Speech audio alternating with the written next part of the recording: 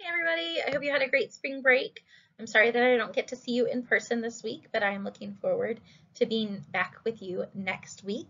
Uh, just a couple of quick reminders. You need to make sure that you complete the participation link for this um, lecture no later than 6 p.m. on Tuesday, March 9th.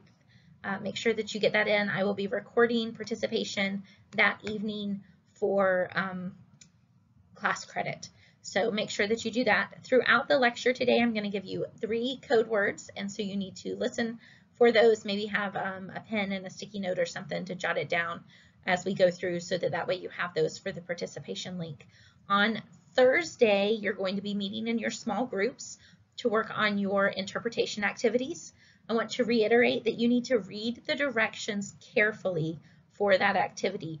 You have a blank form and you have the directions, and at the bottom of the page of directions are a list of passages that you and your group can choose from. You only need to choose one section. Uh, please don't do all of them, uh, but choose one passage and analyze that parable together. Make sure that everyone has done their own work, um, but you can collaborate. So, yeah. Um, and then you'll turn in your individual uh, assignments to the folder on MyFire. That will be interpretation activity number two. So make sure that you turn it in in the right folder. All right, with that, let's get started and let's talk about the gospel according to Luke and John. The gospel according to Luke, I want to give you a quick overview of it before we dive into some specifics. Luke is the first of two scrolls that were often uh, put together. And it's the first scroll and the two volumes together comprise about a quarter of the New Testament, which makes Luke Acts, when put together, the largest New Testament book.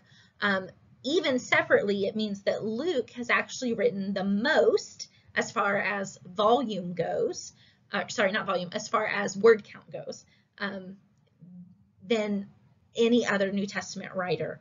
Uh, Paul has written the most number of books, uh, and they're really letters. Uh, but Paul's written the most as far as numerically, but as far as the amount of content within, a lot of Paul's letters are really short, and so they don't add up to as much as Luke Acts. Originally, uh, when Luke, so sorry guys, I'm going to try not to yawn through the lecture. It's been a really long day. Um, when it was originally composed and sent to um, its recipient, it's named. Uh, and uh, that is unusual for new, well, no, that's not unusual for New Testament books. It's unusual for the Gospels. So it is um, unique that this particular gospel was composed for a particular person. Uh, that person is named at the beginning of Luke's gospel, and his name is Theophilus. This is a common Greco-Roman name. Um, so you may have heard some theories that maybe it just means like the brother of God, which is what that name actually translates out to. Uh, but that's not that's not likely uh, because it was a really common name. So when they were originally composed, Luke Acts was sent as a unit to Theophilus, and they were read as a single narrative, not separately as we do today. Um, Theophilus, I said it means brother of God. It actually means beloved by God. Sorry, you guys, it's late. um, it means beloved by God. Um, and some suggest that his name uh, was received after being baptized a Christian, like he had a name change.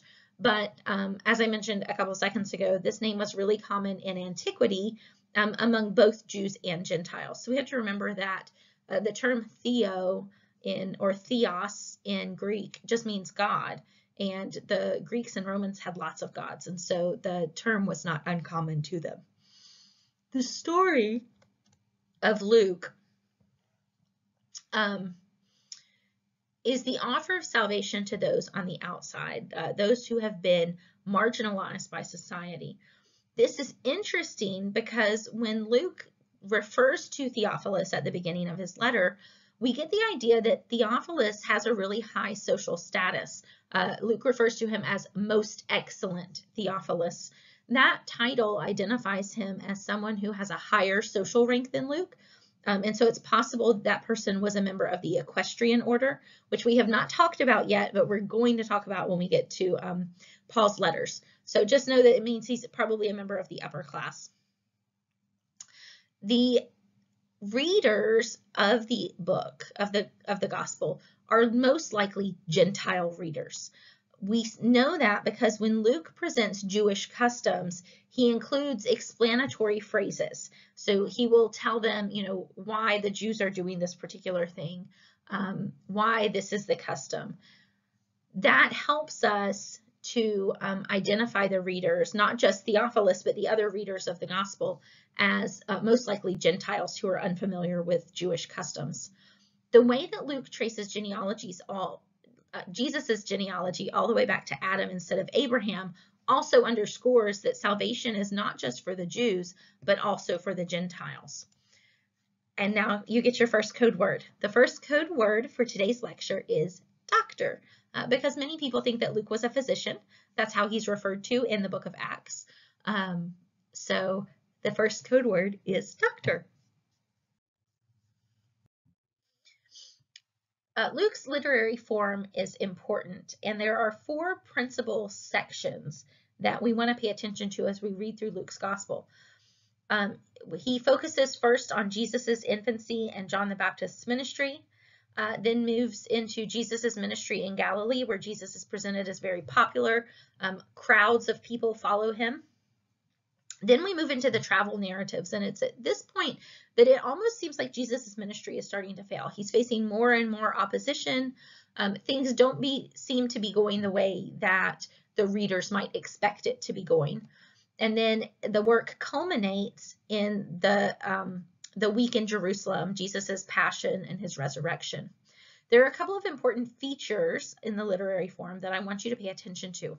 The first one is the methodology. This is not something that we normally talk about when we talk about the Gospels because Luke's work is unique in this. Um, Luke emphasizes that Jesus has fulfilled God's plan about which many have written. And so when Luke writes his gospel, the way that he writes it, we become aware of the fact that there are stories already circulating, uh, both orally and in writing, about Jesus's uh, Jesus's um, ministry and his work. Luke also notes that his sources are eyewitnesses and servants of the word, and that he has investigated um, these stories carefully. He wants to do that in order to give Theophilus and others an accurate and orderly account to confirm them in their faith. And so Luke's goal here is to present a very organized case for who Jesus is and why we should sit up and pay attention to him. Um, in Luke, Jesus' birth is a direct challenge to the imperial claims of Augustus Caesar. And so we get this sense of political undercurrents throughout Luke's gospel. Not only do we have this direct challenge to the imperial claims of Augustus Caesar, but we also have John's ministry fulfilling the Old Testament expectation of Jesus, of, of a harbinger to, pre to precede the coming of the Lord. This idea that someone is going to come ahead of the Messiah and prepare the way for the Messiah. So there's definitely some political uh, things going on. John the Baptist's message is that judgment is near and all are called to true repentance and to conversion, which then results in compassion and justice. Um, I think, oh, in my new in my Old Testament class, uh, this week's lecture, we talked about Esther and the idea of faith bringing responsibility, and I think we see that come into play in Luke's gospel as well, um, particularly through John the Baptist's message that um, when we are called to repentance and we respond um, and we we change our ways um, or we allow the Holy Spirit to change our ways, then that should result in actionable, um, visible manifestations of what that conversion looks like in our lives. And for the biblical story, that means compassion and justice. Um, and we see that all throughout Scripture. We also get a summary of the Galilean ministry, that um, Jesus' ministry is done in the power of the Spirit, that he engages in vigorous teaching and that he is praised by all. And you will want to make note of those three things.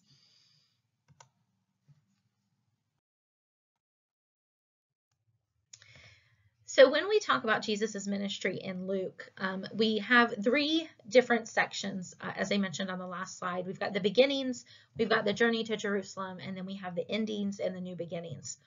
Scholars suggest that the beginnings um, in Galilee deals with problems that revolve around the conflict within the Jewish leadership and the question of the nature of discipleship. And so in this, this section, we have um, Jesus calling his disciples. We have him demonstrating his authority to heal and forgive um, and proclaiming the message of the kingdom. The climax of this particular section is Peter's confession. Now, in the whole work, uh, this is not the climax. This is what we might call the turning point um, because it's from this point on that then it flips and where we've been building up, Jesus has been really popular. Now we start to kind of move away from the popularity and into the, tribula the tribulation that Jesus and the disciples are going to face. Most of the unique information in Luke's gospel comes to us in this second section, the journey to Jerusalem. This section highlights the conflict between Jesus and the leaders of Judaism. And that conflict circles not only on the, the nature of discipleship, but also in how do we interpret the law of Moses faithfully um, as the people of God. The leaders of Judaism tried to trap Jesus and his disciples in reaction to his dramatic moves. Uh, when he cleanses the temple, they question his authority and they question the authority of John the Baptist. Um, at different points, they're going to question Jesus's authority. And we see this as kind of a give and take um, where they will question Jesus's authority and then Jesus responds to them with a question. Um, and then they're unable to answer his question. And in an honor shame culture, this is important because it's kind of like um, with your mom, you know, whoever has the last word wins. Um, and your mom is always going to get the last word, right, growing up. Um, but the idea here is that Jesus always ends with the last word. The authorities are unable to counter his response to them. When Jesus' authority is questioned, particularly when he's in the temple, he responds with a parable um, that indicates that the Jewish leadership is on its way out. He then talks um, in a teaching about paying taxes, and he gives a teaching about the resurrection. In these controversies, Jesus responds with such wisdom that the opposition is silenced. This is going to be important to Theophilus and the other Christians who are reading Luke's gospel who need to understand that the crucifixion is a travesty of justice, um, which is why as we move into the endings and the new beginnings section in, God, in Luke's gospel, we see that the passion account is about the absolute innocence of Jesus. Um, the idea that everything that was done to Jesus was done unjustly. And so we want to pay attention as we move into this end section of the crucifixion and the resurrection, that we pay attention to how Luke talks about Jesus and how he portrays the story of what's going on. Crucifixion in the Greco-Roman world was the worst form of punishment that the Roman Empire could dole out to someone. Uh, Roman citizens were actually exempt from crucifixion. If you were a Roman citizen, you could not be crucified. Um, you were usually beheaded, uh, which is how Paul dies. Um, but the crucifixion is considered the most cruel and disgusting penalty, as Cicero talks about it.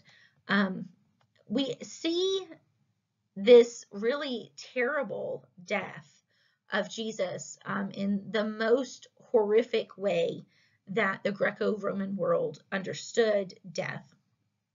And so that's why um, Jesus's innocence has to be affirmed in Luke's account so that these Gentile readers understand that even though Jesus faced the death of a criminal, he himself was not a criminal. Then we come to the resurrection story in Luke. And in Luke's gospel, the first witnesses of the resurrection are women, uh, which is important.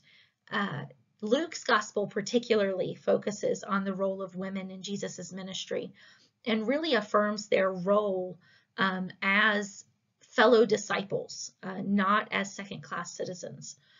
Uh, the story of Luke, the Gospel of Luke, ends with the encounters of Jesus with the disciples on the road to Emmaus and his appearance to the disciples, where he gives them tangible uh, evidence that he is not a ghost. He's, you know, he appears in the middle of a locked room and the disciples are kind of freaked out because Jesus just appeared in the middle of a locked room and they're like, listen, only ghosts do that. Um, and so he says, no, no, no, you know, reach out, touch my hands, feel that I, I have a, a physical body. He eats meals with them. Ghosts don't eat meals. Um, and so he, he proves to them that the resurrected body is a physical body. The final account in Luke is the ascension of Jesus, uh, which then stitches uh, Luke together with Acts because Acts is going to pick up uh, right with that same story um, and, and talk about Jesus' ascension. All right, let's talk a little bit about the particulars of uh, Luke's gospel. So the book, the Gospel of Luke names its recipient, but it doesn't name its author. Um, we know that external evidence points to Luke, who was a travel companion to Paul. Uh, the author of Luke really seems to be um, someone who is Greek um, or possibly, some scholars think, maybe a Hellenistic Jew. Um, but the idea for most of uh, antiquity and into um, more recent scholarship is that the, um, the author of Luke's gospel was a Greek, um, possibly a God-fearer, uh, which we'll talk about a little bit when we get to Acts. Luke's gospel is highly influenced by the Septuagint and doesn't give us any direct um, evidence that the author has familiarity with the Hebrew scriptures. We say that because um, when we translate things from one language to another, uh, word order gets changed and phrasings get changed just a little bit in order to maintain continuity with the thought behind what's being translated. And so the scriptures that are quoted come from the Septuagint uh, translation, which is the Greek translation of the Old Testament, not from the Hebrew text. Um, and we can tell that by the way that it's structured.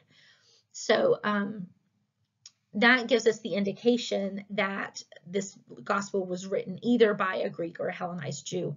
Um, because we know that the same person who wrote Luke also wrote Acts, that kind of narrows down our options because in Acts we get some first person accounts. And so this has to be a person who has traveled with Paul throughout his travels in Acts. Um, and the author names other people who travel with Paul and refers to them in the third person. So Silas, Timothy, Mark, Barnabas are all referred to in the third person. So we know that that person is not the person who's writing this gospel or the book of Acts. The point of view in Luke's gospel is, is all third person because Luke wasn't there to witness Jesus uh, as an eyewitness. But in Acts, we get some sections that are uh, written in first person. And so that indicates that the author was an eyewitness of some of the events in early Christian history. Um, some scholars say that that was possibly like an invention of language, that it's um, a literary turn in order to bring the audience in. But the simplest solution is probably the correct one that the person who is writing in first person was actually there. Uh, we encounter Luke in Paul's letters from Rome, which makes his authorship plausible but not concrete. Um, and we also encounter Luke in the book of Acts. The early church affirmed that uh, Luke wrote the gospel. Uh, Clement of Alexandria, Tertullian, the Muratorian fragment, which is our earliest collection of the New Testament canon, and Jerome, who is the person who translates the New Testament from Greek into Latin when Latin becomes the common language. Um, and all of them refer to Luke, to this as Luke's gospel. So pretty early on, we have this, this community consensus. Uh, Jerome refers to Luke, a physician of Antioch, as his writings indicate, was not unskilled in the Greek language. Now, I want to take a second um, and expound on this because in learning Greek, I always hated having to translate as an early Greek student uh, Luke's writings because Luke's Greek is really eloquent Greek and that makes it actually a little more difficult to translate. Um, so uh, I think it's funny that Jerome says he was not unskilled in the Greek language. Like it's kind of an understatement, Jerome. Um, Jerome goes on to say he was an adherent of the Apostle Paul and a companion of all his journeying. He wrote a gospel. Um, and so we see uh, Luke as a participant relying on sources to garner information. Uh, he is aware of other gospels. He talks about other writings of Jesus. Um, and some of the events he describes, he says, are handed down as sacred tradition. And so this has, which we talked about, um, gosh, it's been a couple of weeks now, but when we talked about the language of tradition and the way that oral cultures will frame certain things in order to communicate um, with reliability. And so this uh, sacred tradition we see uh, being handed on very early in the church gives us some understanding of the way that the early church was structured. The audience is those who are inside the church. Uh, this is not an evangelistic, as we might consider uh, evangelism today. This is not an evangelistic letter. This is a letter written to people who are already Christians, and it's written in order to affirm their faith and the teaching that they have received. Paul uses the word certainty quite a bit, and that's a favorite term in antiquity, which denotes a true philosophy as opposed to a superstition. And so Luke is telling them, listen, this is not superstition that we're telling you. These are things that actually happened. The earliest date for Luke's gospel is probably around AD 62, um, although there are some arguments for both earlier and later dates. All right, let's talk about the gospel according to John. John's gospel uh, is set up uh, with a particular setting. The setting of John's gospel is most likely Ephesus. Uh, tradition tells us that John is in Ephesus when he writes this gospel, and that John was the leader of the church in Ephesus for some time. The audience of John's gospel is facing persecution as well as internal and external conflict. And so John writes to them in order to communicate what it means to be the people of God in this new context of Christianity, what it means for the Spirit to transform their lives so that they can reflect um, the gospel to those around them. The book is divided into two main divisions. The book of signs is chapters 1 through 12, and the book of glory is chapters 13 through 21. The book of signs is named after Jesus's revelatory miracles or signs, which accompanied his teaching. Um, and Jesus teaches diverse audiences and um, does a lot of work in public during the book of signs. In public, Jesus is showing signs, he's teaching um, to this diverse audience, and we see several different things inside the book of signs. Uh, we see Jesus referred to as the eternal Logos or Logos, uh, which means word in Greek. John doesn't include a genealogy like Matthew and Luke do. John writes that Jesus is the eternal Word of God from the beginning who took on flesh. Then we get John the Baptist identifying Jesus as the Lamb of God who takes away the sins of the world. And John's disciples then go and follow Jesus. We see Jesus and uh, his interaction with Jewish institutions and festivals. Uh, he frequently replaces Jewish symbols with himself, uh, such as when he calls himself the true bread which came down from heaven, uh, referring to the manna that the Israelites received in the desert, or the true vine, which is a common symbol for Israel in, um, in some of the prophetic literature. In the book of glory, we move into Jesus's last week.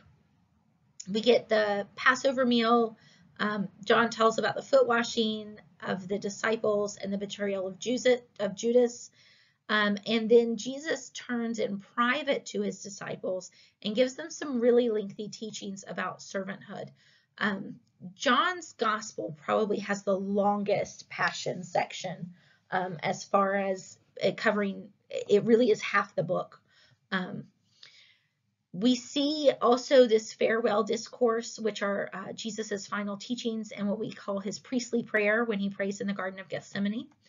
Um, Jesus comforts the disciples. He explains the coming of the Holy Spirit, that the Holy Spirit will reveal Jesus to them and remind them of um, the truth that he has spoken to them, that the Holy Spirit will sustain them in the face of persecution. Jesus prays for the disciples. Uh, he gives final teachings about being the true vine. He gives them information about the role of the world and how they should understand and view the world, the work of the Holy Spirit, and hope for the future.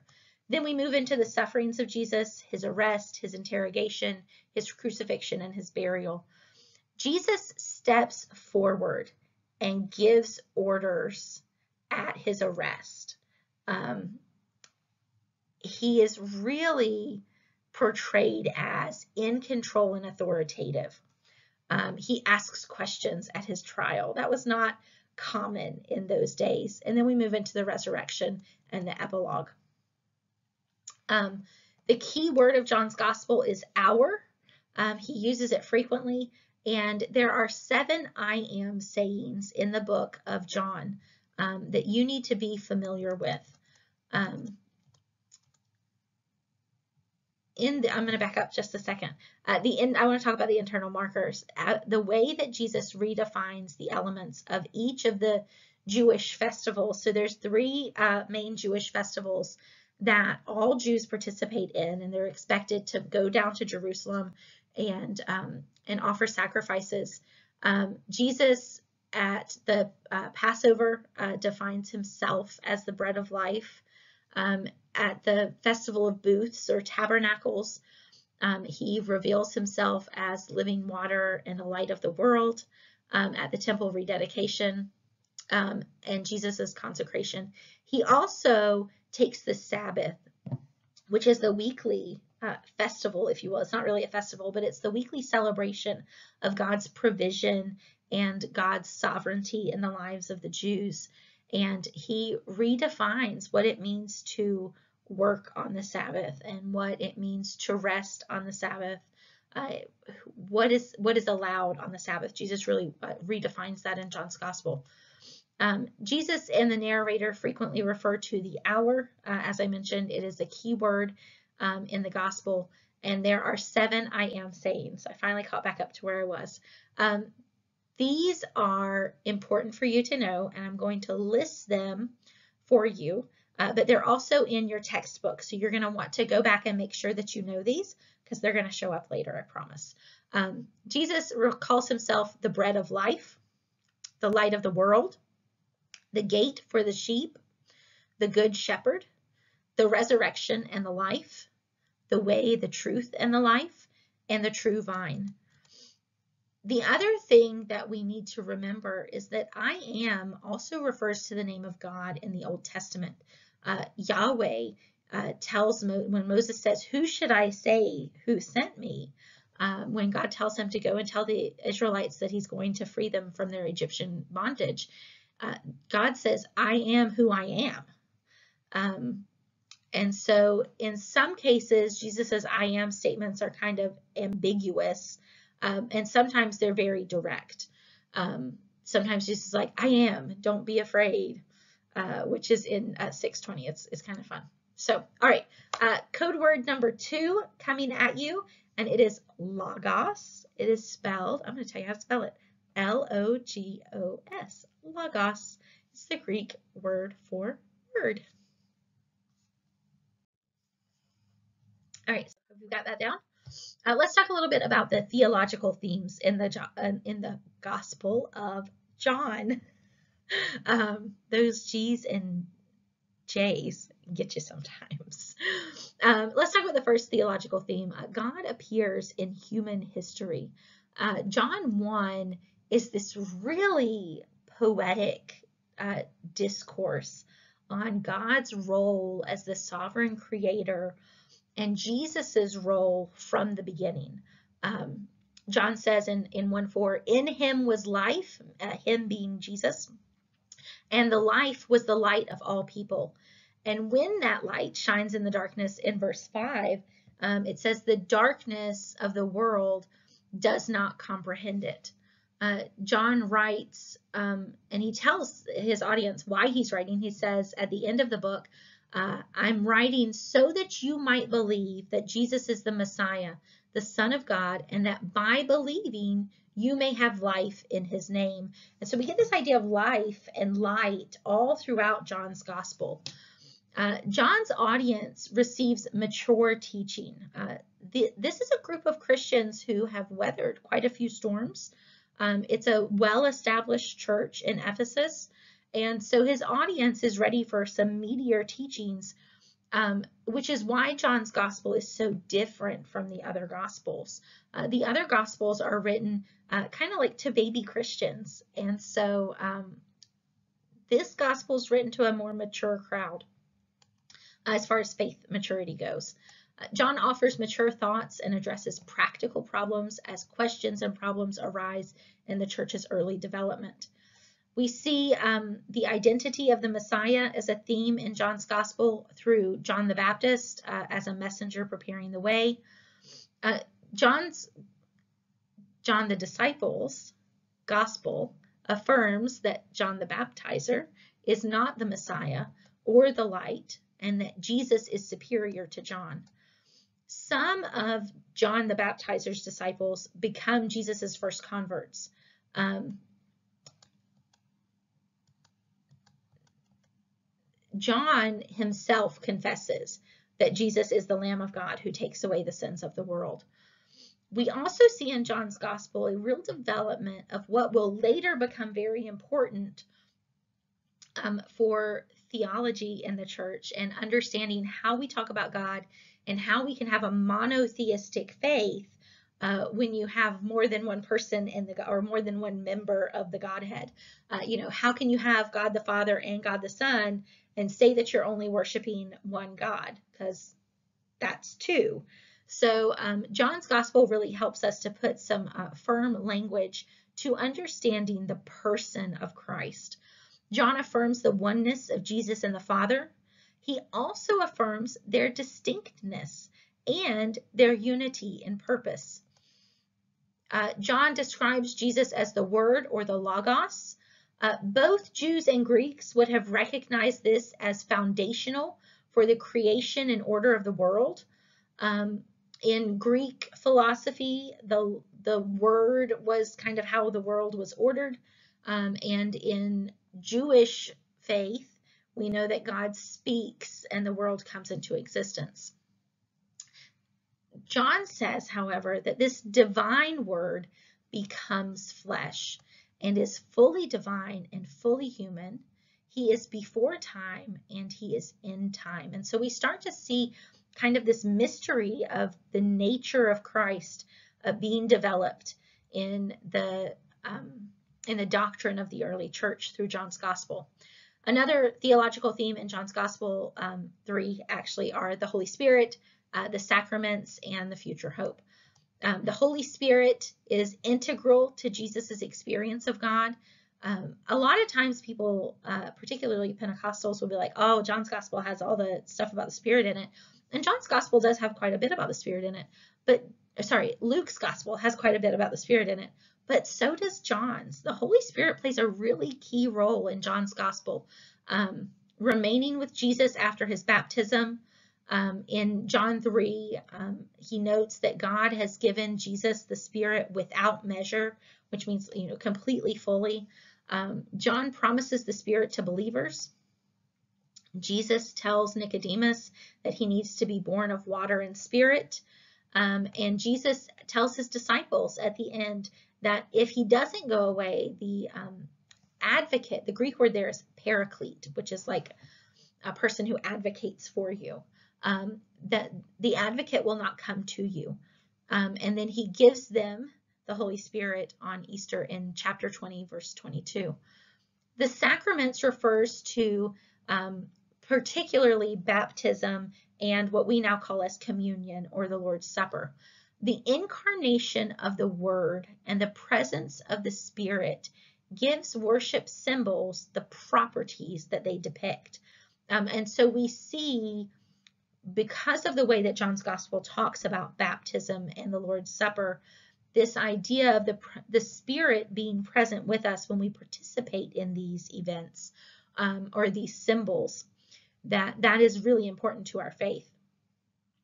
Um, taking communion is a form of grace, um, you know, that God's presence is with us um, always, but particularly in a special way uh, when we participate in communion and we, we recognize and remember um, and celebrate the way that Christ has sacrificed for us and the way that he continues to move in our lives. Um, our future hope, uh, I'm going to give you a real fancy theological word here. It's called eschatology. Uh, eschatology has to do with the study of how things will end, um, the study of end things. Uh, in John's gospel, we see that the longed for presence of Jesus is given to us now in the Spirit. And so where the other three gospels have kind of an apocalyptic hope of Christ's return, uh, which is important and is a key element of our faith, but we also have in John's gospel this realized hope that even though we are waiting for Jesus's physical return to earth, while we're waiting, we're not left alone. We have the Spirit with us. And so there's this tension between the now presence of the Spirit and the not yet fulfillment of Christ's return. Uh, John's gospel has quite a bit of irony, and I actually, this picture here, I hate that the little camera is covering it up. It's just water behind my face. Um, but this building, this gray building, um, is the um, place where um, part of John's ministry was supposed to have taken place. This is on the coast of Ephesus. In John's gospel, we get a clear picture of Jesus. And through that picture, we see that many people either misunderstand Jesus or come to the wrong conclusions quickly about him, or they reject him sometimes they debate about who is this Jesus? What's going on? Why is he doing these things? And so we see the responses of people to Jesus and that those responses are not always positive. Um, the crucifixion in John's gospel is the peak of the irony that we see in that Jesus is called the king of the Jews by Pilate, a Roman uh, governor. And uh, the Jews are like, uh, no, he's not our king. Like they actually go and they ask Pilate to take down the sign that he's put up that says the king of the Jews. They're like, listen, if you're going to put that up, say this man called himself the king of the Jews. He's not our king. Caesar's our king. And that is a whole different level of what's going on um, among the leadership in Jerusalem. But the idea that um, the Jews are rejecting Jesus as their king at the crucifixion, uh, while this Roman uh, leader is acknowledging Jesus as the king of the Jews is really ironic um, if you think about it. Irony also plays into John's dualism as the darkness, darkness can't comprehend the light and the world can't comprehend divine revelation. And so this, this kind of contrast between light and dark and the world and believers um, plays throughout John's gospel. So I want to take a second to talk about the world in John's gospel because just like um, our in John's gospel, which is a key word, the world is also one of John's key words. It's one of his most frequently used words. And the Greek word is cosmos. Um, in 110, John tells us that uh, though the world was made through him, the world did not recognize him. And in that, it's talking about both the universe itself and humanity. So sometimes cosmos just means humanity. Uh, sometimes it means the universe, and sometimes it means both in John's Gospels. Uh, this term is used 78 times in John's Gospel and 24 times in his letters. In John's gospel, we see um, that Christ and uh, through Christ, God uh, loves the world, um, that Jesus dies to take away the sin of the world, uh, that Jesus wants his disciples to have an honest assessment about the world, um, that he wants his disciples to understand that they're going to be despised by the world, uh, that the Spirit will fight against the errors of the world. Um, Jesus comforts his disciples in um, chapter 16. He says, you know, in this world you will have trouble, but take heart. I have overcome the world. Um, and so this is a really um, prevalent theme throughout Jesus's teachings. We see that uh, Jesus indicates that the world is good, and that goes all the way back to Genesis. You know, when God created the world, um, he said it's good. And sin broke that, but it didn't take away the basis of goodness of God's creation. So the world is good, but it's dead in sin and it's under Satan's rule. And so Jesus dies to take away the sins of the world. And the world and the Jews in John often have similar connotation. Um, there's a little bit of um, discussion about this in that um,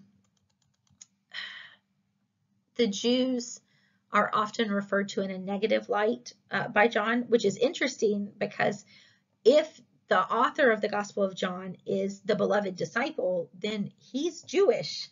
Um, but the idea is uh, most of the time when it's a, a negative discussion of Jews, it's likely the Jewish leadership that John is actually referring to and not kind of the entire corporate group of Jews.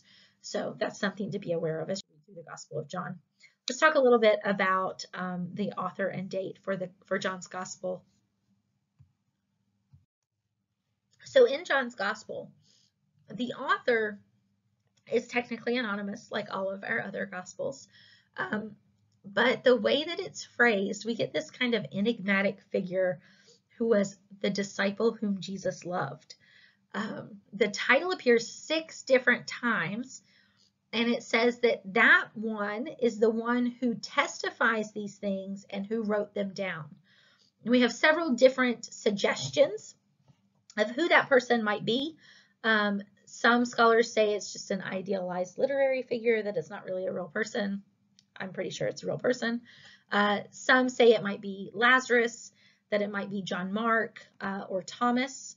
We do know that whoever it is is one of the 12 and that that person formed an inner circle with James and Peter around Jesus. This explains his eyewitness testimony and his penetrating insight into what's going on because he's part of this core group of disciples. Um, so John of Zebedee is the is the traditional and the best solution because he fits those characteristics. It's possible that he was Jesus's cousin, and we say that because um, he gives him charge of Mary at the cross, and so it's likely that he was um, that he was Jesus's cousin, that there was a relationship there that was an actual kinship relationship, um, because he wouldn't have done that otherwise. The synoptics uh, mention John more often with Peter than any other, and in Acts, uh, they're companions in Jerusalem and in Samaria. And so we see John and Peter together quite often, which gives us again this idea that they're part of that inner core. Um, many of the church fathers point to the Apostle John as the author of John's Gospel, uh, Irenaeus in AD 200 says that the, that the beloved disciple was John and that John wrote from Ephesus. This is important, and let me tell you why it's important. Uh, because we don't have a lot of hard evidence as far as, you know, original manuscripts. Those have all been destroyed by weather and persecution and different things. But we have a direct line. Um, so imagine that uh, your grandparent uh, let's say your grandfather, knew, um, gosh, I'm trying to think like a good time, time uh, period. Okay, let's say your grandfather knew Martin Luther King Jr. And so your grandfather says to you, says to your father, um, I knew Martin Luther King Jr. and this was his favorite knock knock joke. Okay, it was something random. Okay, um, and then your father tells you, Grandpa knew Martin Luther King Jr. and this was his favorite knock knock joke. You're going to trust that line of succession. Um, and so we have a similar line of succession in understanding who wrote John's Gospel. So Irenaeus knows personally Polycarp. Polycarp was the bishop of Smyrna um, it, from AD 69 to 155, and he was tutored by John. Okay, uh, Eusebius, uh, a hundred years later, uh, in 300. So Irenaeus is in AD 200. So Irenaeus is um, directly connected to Polycarp. Polycarp is kind of his mentor. And Polycarp's mentor was John the disciple, the beloved disciple. Um, you guys say beloved. That's how it, it's not beloved, beloved. Sorry, little side note there. There's a song, but I'm not going to sing it because my voice is froggy and you don't want to hear that right now. You want this lecture to be done. That's what you want. All right, here we go. So Irenaeus in AD 200 knows Polycarp very well. Polycarp is mentored or tutored by John, the beloved disciple. In AD 300, Eusebius, who gives us a lot of early church history records, um, records that same group of connections. And so we have, you know, 100 years later, still within a reasonable amount of time, um, this connection affirmed again. Clement of Alexandria, who um, lives in a, and is um, a leader of the church in AD 200, confirms John's association with the gospel, and the Muratorian Canon, which we've talked about already, is our earliest list of authoritative New Testament books. Sorry. It's late, you guys. All right, uh, the Muratorian Canon, composed sometime between AD 180 and 200, um, also confirms that John is the author of the gospel. Okay, the latest possible date then is AD 110. Um, and that's if you don't think that John wrote it, uh, really. If John uses the synoptic gospels, then he probably writes it sometime between AD 70 and 80. Now, and I forget the church father's name at the moment. It might be Jerome, but it might be Eusebius. Um, one of the early church fathers notes that John's gospel is different because he wanted to write about Jesus in ways that the synoptics that the synoptic gospels had not addressed Jesus. And so that early witness kind of gives us the idea that even if John doesn't use the synoptic gospels as sources, that they are already in existence when his gospel is written. So that means probably sometime between AD 70 and 80, um, which would make sense in the timeline of things, especially if you see John, uh, the beloved disciple, as the author of Revelation, which we'll talk about when we get to Revelation at the end of the semester. Um, if it was written before the Synoptics, then probably sometime before the War of AD 70. Um, but I am going to go with church history on this one and say that it is, somewhere between AD 70 and 80. So, um, and now it's time for your third code word, which is disciple. Um, so that is your third code word, disciple. And here is your participation link. Um, I don't know if you are able to click on this link from the video or not. Um, hopefully you can use the little QR code, but I'm also going to put the link in the announcements page on MyFire. Um, so you probably have actually seen the participation link before you've seen this lecture, um, but you can find it there as well if for some reason you didn't see it there. So that's all I have for you. I will see you all next week. Have a fabulous rest of your week. And if you have questions about the uh, interpretation activity, please email me. Um, listen, I'm sitting in a lecture all day on Thursday, and I'll probably have my email up. So if you have questions, I am happy to um, answer those questions for you. So that's all I have for you. Have a great one, guys.